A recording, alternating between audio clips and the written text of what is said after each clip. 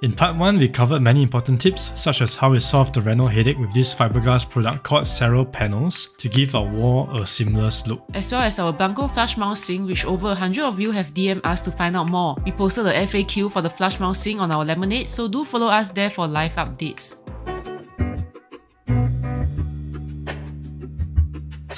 Planning for your home reno and wanting to look for an ID but not sure where to begin?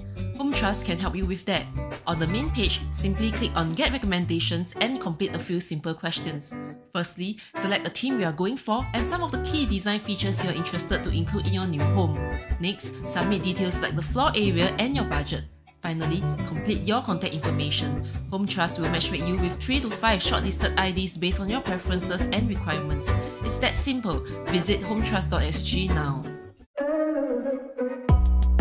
Let's now take a look at the final kitchen. In continuation from the previous episode, our self-designed curved dining banquet flows nicely into the kitchen counter.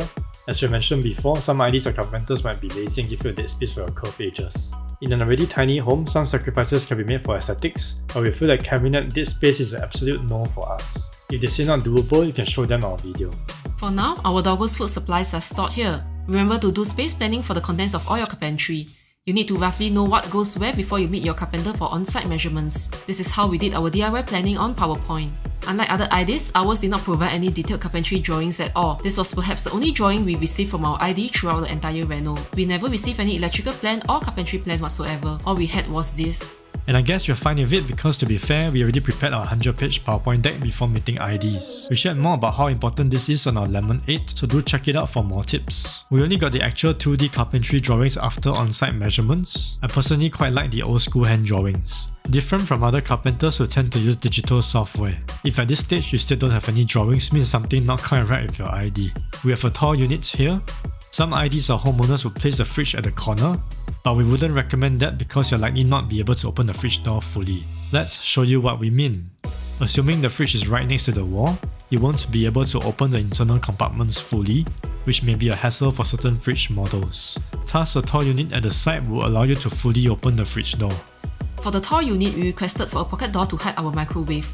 We originally wanted a built-in microwave but decided to go with a portable one instead as it would be easily replaceable should it kaput. The pocket door makes the kitchen neater as well and reduces the sight of appliances. Our ID kindly threw in this small piece of sintered stone for our kitchen niche as goodwill for the delayed carpentry. As this area is high contact with frequent spills, it is helpful to have a stone top instead of pure laminate.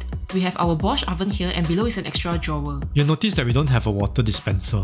For homeowners with water dispensers, maybe best to skip this part because we don't want to give you cognitive dissonance. For those who have yet to buy one, hopefully after sharing your thing twice too. The machines and filters are costly and filter replacement should in fact be done more often than recommended because of bacterial growth. We highly recommend you to watch this CNA Insider episode. Spoiler alert, basically the study found that most water filters ironically increases bacterial count, which means you're probably better off drinking unfiltered tap water which is cleaner. This is the main reason why we don't want the standalone water filter. Out of 5 households in the experiment, one is an outlier that showed the filter actually worked. So the end of the day, it all boils down, no pun intended, to your beliefs. Anyway, for those of you who are planning to get a water dispenser just for instant hot water, we have a hack. We use a Nescafe Dolce Gusto machine for instant hot water. Simply pour in clean water, load it up and you can instantly dispense hot water to power your 3-in-1 and teas. And for instant ice water, you can consider a fridge that does it. This is our Samsung Family Hub, which is the most expensive device in our house. It also has a built-in auto ice maker which is amazing. Ice management is an often forgotten chore especially if you host frequently. The crushed ice is a guest favorite and so too is the access to cold water. This is how the ice maker looks like from the inside. Basically, you still need to go through a manual process to refill the water tank with void water, but no complaints there. One crucial tip for your fridge is to find out the location of the plug and how long the wire is. Our electrician originally installed the socket at the top left hand, but when the fridge installers tried to plug in, they couldn't reach. Our electrician's task had to come down the next day to pull a new socket to the right. We also have one trick to share here. Usually, you're advised to leave some allowance for future fridge upgrades or replacements. Our fridge is already huge, but there's a slightly taller one from Samsung, so remember to take the dimensions of a similar but bigger product. What we did next is to get a carpenter to include this detachable wood panel so that the buffer can be covered up. This fix seems simple but made a real difference visually. If your home runs SmartThings, this panel is not essential but a welcome companion nonetheless. All your devices can be controlled here. If you have a ring doorbell, this unlocks even more features. You can talk to the person here. Hello. Hi, who's that? Hi, I'm here to deliver one Shetland Sheepdog to Lynn. Okay, I'm opening the door right now. Alright, thanks. If your guests arrive or if there's a delivery while you are busy prepping meals, you can talk to them or even unlock the door for them. This panel also syncs up with our Samsung The Frame TV. No idea in what situation this would come in handy, but still a neat feature to have. It also has Spotify app and as we don't have a proper speaker in our house yet, we use this whenever guests visit. The best part of this fish is the ability to customize with pictures and drawings. Every time guests visit, we will capture memories for the fridge. A SmartThings motion sensor is magnetically attached to the fridge. We set a rule to turn on the light strip whenever motion is detected in the evening or when the weather is bad, and another rule to turn off all the lights if no motion is detected in the kitchen for 5 minutes. Our kitchen lights are dumb lights connected to a smart switch which is Samsung SmartThings and Google Home compatible. Hey, turn on ceiling kitchen. DIYing a smart home sounds daunting but it's easier than it looks and doesn't cost much more. We're excited to start our smart home series soon, so don't forget to subscribe if you're keen to learn more. Remember to also have this tall divider beside the fridge. This is super important to prevent things and food from falling into the crevice. Some IDs or carpenters may leave this out. Sam came up with the idea of an arc dish rack. We searched high and low to find an example online to show our ID but couldn't find one. We are super proud of this and really thankful to our carpenter for being able to bring our pencil sketches to life. Hopefully this is some design inspo for you and we expect to see arc dish racks becoming a thing soon. Most IDs will give you that basic dish rack that can be closed up. We personally don't want that because you'll be open most of the time to air dry the wet dishes. The dish rack is from Excel and is simply drilled into place. The arc is also functional for us to dry cookware and we also love the way the light from the light strip unintentionally illuminates the curved edges of our dish rack. We even thought about removing this bottom tray so that water can drip directly into our sink. Cabinets were designed around the arc. This is one of the few places in our house where we have sacrificed space for aesthetics. Similar to our arc mirror in our foyer, we got the carpenters to add these two thin pieces so that it flushes nicely and does not end abruptly. The top and bottom cabinets have to be aligned. We didn't fuss too much about the dimensions of the different compartments because this was the only way our carpenters could accommodate the arc dish rack. Instead, we went to find a perfect fit rice dispenser for this small cabinet. Here is how the bottom of the sink looks like. The grey plastic patches are what we DIYed white to cover some holes that our carpenter was not able to. This was how it looked like beforehand. We sealed it up to mitigate moisture damage to the insides of raw exposed wood and prevent pests from hiding inside. Next up is the service yard pipes box up. The first one is at the corner, and our L-shaped compartments were designed around the unhackable service yard beam. We also got the carpenter to do some tiny shelving where possible. No matter how small, you can always find the right things to fit in nicely. We requested for the insides to be seamlessly connected for more flexible space use. We opted for a slim fit box up instead of one that protrudes to the edge, so that we could have this extra countertop space that flows seamlessly all the way to the windows. The depth of the bottom counter is 60 and the box up and top carpentry is 37. The height of our countertop is 90 in total. Depending on your height and comfort, the industry average is about 85. Even now, we still find that 90 is too short for us. Maybe 95 would have been better. For those who want a slim fit box up, note that you probably can't escape a protrusion at the top of the box up. This is unavoidable due to the protruding pipes. At the extreme end is where our 2-in-1 washer dryer is located. This is a Samsung QuickDrive 9.5kg and we highly recommend this. The best part about a washer dryer is you don't even need to be around to take out the clothes to transfer it to a dryer. It can seriously wash and dry clothes, even bed sheets, in 3 hours. No joke, they really come out hot and dry. But not all materials are suitable, some will shrink over time so we only use this for our old clothes or when urgent. We did away with skirting in the kitchen and epoxy grouted our tiles to tidy the edges and give the flooring a more polished look. On the other side, we spammed drawers. We find drawers extremely helpful in the kitchen. One thing to take note of in your ID quotation, get it itemized or in writing the X number of drawers are included for carpentry. We didn't know about this and it ended up being a hidden cost at 60 to $80 per drawer for the Blum runners. This Blum Tandembox Space Twin is a must-have for condiments. We bought through our ID at around $130. These compartments must be decided before your carpentry measurements so that the carpenter can take the dimensions and design accordingly. When we were renting, we realized that the previous tenant spilled some peppercorns and they got trapped in the tiny gap. To prevent spillage of sauces and protect the carpentry, we immediately mass bought IKEA Variera drawer mats and cut them to size for all our drawers and cabinets. Another important tip is for the cutlery drawer. We bought the IKEA Stridia cutlery trays at only $6 and pass it to the carpenters to bring back to their workshop and design the drawer dimensions around it. These perfect fit drawers impressed quite a lot of our guests, especially those who have recently completed the reno and struggled to find an off-the-shelf cutlery tray that could fit nicely without gaps. There's a big peninsula here for us to prepare meals. As mentioned, we designed for a recessed power track here.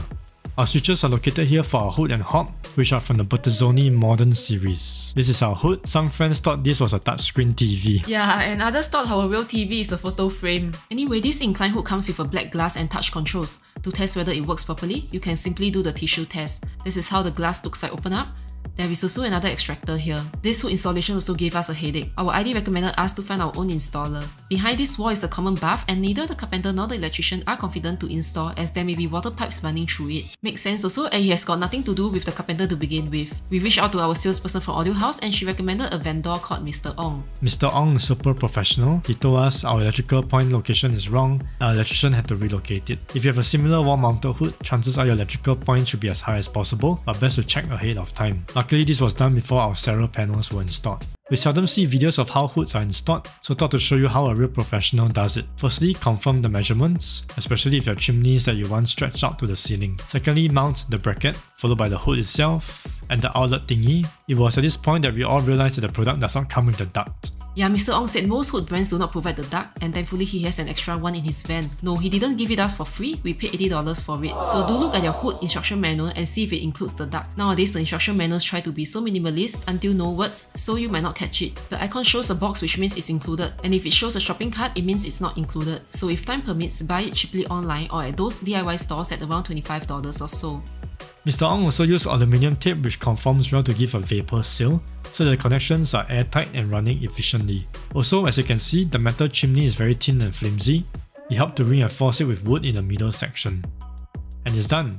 After saying this, you'll understand why we highly recommend a professional hood installer. Try not to take your ID's offer to have the carpenter or any rando to install your hood, because they probably won't be as detailed or have the right expertise to do so. Just like what happened at my parents' BTO. We haven't spoke about my parents' BTO. As you know, we got two BTOs in this project, our 4 room and my parents' 3 room under the HDB Multi-Generation Priority Scheme. A lot of people don't know about this MGPS trick. To find out more about it, check out our Lemon8 post. Long story short, my parents got the same ID firm but a different ID and a different carpenter. Their entire reno journey was quite a nightmare, but the way their hood was installed was shocking. My parents used a slim telescopic hood which was installed by their ID's carpenter. Firstly, the fingers can't even access the switch. Secondly, the carpenter left a hole like this and you can even see the internal PVC laminate. The carpenter apparently also said that the filters are not required and thus didn't install them. By a stroke of luck, one of the bulbs blew and Bertazzoni sent out someone to replace the bulb. The gentleman was surprised that the filter wasn't installed, which defeats the purpose of the hood. And whilst installing the filters, he uncovered something far more disturbing. Basically, there is Totally no suction. Totally no suction. But they're supposed to absorb, Yeah. then got some air Correct. ventilation. Here is totally nothing. This one. This one cannot block one. Once you block out, the air suck in, where to go? Hmm. Frankly shocked. Our own place is a wall-mounted hood so we didn't research about slim under carpentry hoods prior. In fact, the ID and the carpenter even said this is how hoods are installed in Singapore. But they don't experience. Yeah. You let them know, you see, all these. Uh, you come in, you go to somewhere, Hmm. go up. Must Correct, need to correct. go. Uh, Thanks, uncle. you see, all these. Uh. Really. But here, you need to, The hole, then you right? cannot cover it. Cover it, air suck in, cannot go out, Mm. then there's no suction. No. For those of you who have kitchen hoods like this, do perform a tissue test to see if it works. When we shared this briefly on IG, there were a couple of homeowners who were shocked and only now learned that their hood wasn't working as well after living with it for years. We couldn't find much information online, no video went into such deeds. Sam eventually had to think of a solution himself and drew it out for my parents' ID. In layman language, the slim hood has a hole that cannot be covered up. We will ourselves buy a duct like what our own hood installer used to duct it up all the way to the top of the carpentry to a grill. So air will flow in here, go through the duct, and come out from the grill. The duct will then be boxed up with carpentry that remains accessible. Internal shelving will be nicely done around the box up. In short, it becomes a chimney hood which also means you should consider a proper chimney hood rather than these slim kind. Finally, this is how it looks like with the carpentry doors installed. The hood will be resting just beneath the carpentry doors, thus also solving the original problem of inaccessible fan switch. Who thinks Sam can be a home reno consultant? Anyway, after two months of dilly-dally, my parents' ID and carpenter finally solved the issue. Look at how sensible it looks like now. The doors are flush and here is our drawing brought to life. The duct is boxed up by carpentry and kept accessible with screws. This internal space is an important sacrifice to at least channel the air upwards. The tissue test works like a charm both at the input and the output. Are you interested for a home tour of my parents' three-room BTO? Leave your comments below and if there's enough demand, we can feature it for a future episode. An early idea we had for our home was to channel the hood duct all the way to the top of the carpentry out the window. But if you find out you have an unhackable beam, then probably not. Also, you are unlikely not going to have top carpentry in the service yard area because of your laundry hanger system on the ceiling. Speaking of laundry system, Steigen kindly sent us their latest Solar Pro. This is a lifesaver for us. We run the solar dryer after washing our clothes and they will be 95% dry in just 3 hours. We'll share more about the Solar Pro in a future episode, including a hack on how we managed to sync the light with our Tuya smart switches. Our kitchen faces the west, so while we get to see the most beautiful sunsets, we also have to face the long relentless western sun. We highly recommend the 3M Prestige series window film. It blocks out up to 99.9% of UV rays and most importantly reduces heat in our home while allowing natural light to enter. Jastech is 3M's authorized distributor and applicator and provides warranty up to 15 years, longest in the market. The Prestige series comes with 5 options ranging from the PR20 to PR70. The number means the percentage of visible light that can be transmitted into your home. So PR20 is the darkest tint and PR70 is the lightest. We decided to go for PR50. We shared this on Lemon8 so check it out if you are interested. There's only one thing we failed to resolve in our kitchen. Before we get to that, let's talk about tiles and waterproofing for new BTOs. Some of you have reached out and seemed confused about the BTO kitchen and bathroom tile regulations and waterproofing warranty. So let's summarize it. Information accurate as of April 2023. For the kitchen, you have the option to hack the tiles that came with the BTO. If you don't hack, you can enjoy the 5-year waterproofing warranty, which protects you in the event your unit caused a leak to your neighbor's ceiling below. Anyway, it is perfectly fine to hack and replace the kitchen tiles. By doing so, you will void that warranty, so touch wood. But if anything happens like washing machine key or water pipe burst, then HDB will help with the liabilities. This is different from the bathroom which does not allow you to hack the tiles at all for the first 3 years. This is why for new BTOs, the only option is to overlay the bathroom tiles, as you have seen in our past videos. This also comes with a 5-year waterproofing warranty. Hope this is a good summary, but of course please check HDB's website for the latest up-to-date guidelines. For us, we decided to overlay our kitchen tiles so as to maintain a 5-year waterproofing warranty. This thus created a slight hurdle for us. As we kept our living room tiles and overlaid the kitchen, a height difference is created due to the thickness of the tiles. Our ID said he can't do anything about it, even though we thought that in the earlier discussion, he mentioned that a gentle slope could have been created. Maybe we heard wrongly. Maybe we should have taken minutes. anyway, this is how we live with it for the moment. A floor mat cushions the step up and this also helps our Dreammate R10 Ultra Robo roll into the kitchen. We also recently bought this 2cm slope thing online. We'll try to DIY a solution and share the fix in our future reno regrets video.